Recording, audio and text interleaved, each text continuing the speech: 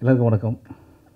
மெயினாக இந்த ஈவெண்ட்டுக்கு வந்தது காரணமே வந்து இசைஞானி இளையராஜா அவர்கள் ஃபஸ்ட்டு படம் வந்து அன்னக்கிளி அதுக்கப்புறம் நிறையா படம் பண்ணியிருக்காரு.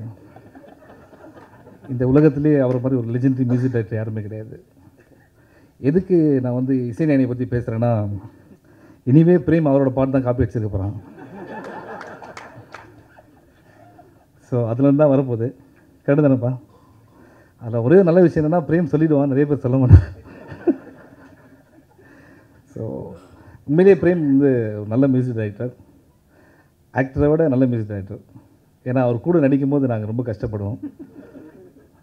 ஏன்னா அவருக்கு எல்லாமே கொஞ்சம் கிளியராக தான் தெரியும். அவர் காலையில் ஆறு மணிக்கு ஷாட் வச்சா அவ்வளோதான் கேமரா எங்கே இருக்குன்னு தெரியாது நாங்களும் எங்கே இருக்குன்னு அவருக்கு தெரியாது. அது மாதிரி ஒரு ஆர்டிஸ்ட் அவர். ஸோ நீங்கள் மியூசிக் நல்லா பண்ணணுன்னு தான் எங்களுடைய ஆசை. ஏன்னா ஃபஸ்ட்டு ஃபஸ்ட் நான் அவரை பார்த்து கூட யுவன் சங்கர் ராஜா அவரோட ஸ்டுடியோவில் தான் பார்த்தேன். சென்னை டுவெண்ட்டி எயிட்டோட ஃபுல் ரீ ரெக்கார்டிங் அவர் தான் பண்ணார். ஸோ இந்த சுனாமிலாம் ஒன்றும் வேணாம். நீ ஒழுங்காக இனிமேல் ஃபோட்டோவில் எப்படி போஸ்ட் கொடுக்கறது பதிலாக எப்படி போஸ்ட் கொடு மச்சான்? இனிமேல் லைஃப்பில் பக்கத்தில் வந்து okay all the best Prem பக்கத்தில் அனிருத். எனக்கு தெரிஞ்சு இவரை பிடிக்காது அப்படின்னு யாருமே சொல்ல மாட்டாங்க. அந்த அளவுக்கு ஒரு lovable character because of is nature ரொம்ப அன்பான ஒருத்தர். Thanks so much brother for coming ஏன்னா நான் படத்தில் நடித்தாலும் எந்த படமாக இருந்தாலும் சரி எந்த டைமாக இருந்தாலும் சரி இது வரைக்கும் எனக்கு ஃபோன் பண்ணி விஷ் பண்ணுற ஒரே மியூசிக் டைரக்டர் ஒரே மியூசிக் டைரக்டர்னா ஃப்ரெண்டா அனிருத் தான். Thank you so much brother even கலக்கலப்புக்கு மூணு ஃபோன்லாம் பண்ணிங்க நைட்டு என்ன இருக்கா வெளிநாட்டிலேருந்து ஸோ என் மேலே பெரிய நம்பிக்கை வச்சுருக்காரு. தேங்க்யூ ஸோ மச் இதுக்கப்புறம் இந்த படத்தில் என்ன சொல்கிறேன்னா எல்லாருமே தெரிஞ்சவங்க அஃப்கோர்ஸ் யா?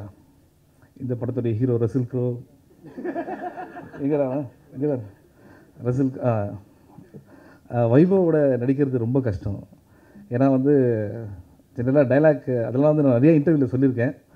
நாங்கள் வந்து பேசும்போது எப்படின்னா நீங்கள் எது இப்படி வர அப்படின்னு டைலாக் சொன்னோம்னு வச்சுங்களேன் இது அப்படின்வான் இதுக்கப்புறம் நம்ம அதை கேட்டு வேறு சொல்கிறோம் ரொம்ப கஷ்டம். ஆனால் இப்போது சமீப காலமாக அவரோட திறமையை வந்து நல்லா காமிச்சிட்டு வர்றாரு I wish Vaibhav all the best have great year நிறைய ரிலீஸ்லாம் இருக்குது அண்டு uh, மற்றபடி ரொம்ப ஃபார்மலாக பேச தெரியல. ஏன்னா வந்து uh, மேடையில் பெரியவங்கலாம் இருக்காங்க. சிவா சார் வணக்கம். அம்மா. அடுத்த படம் ப்ரொடியூசரு இல்லை இன்னும் பாக்கி இருக்கு. So, அதுக்கு அடுத்தது வந்து நானேவல்ராஜ் சார் வணக்கம். ரொம்ப- நல்லா பேசிகிட்டு இருக்கோம்.